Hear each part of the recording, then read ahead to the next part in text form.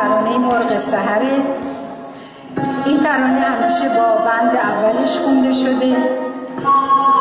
این بار من با همون اجرای قبلی ولی بند دوم رو می‌خونم.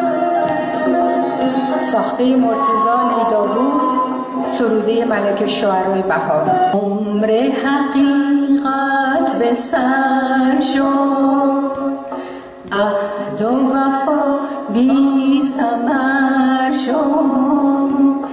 ناله عاشق ناز من هر دو دروغم بی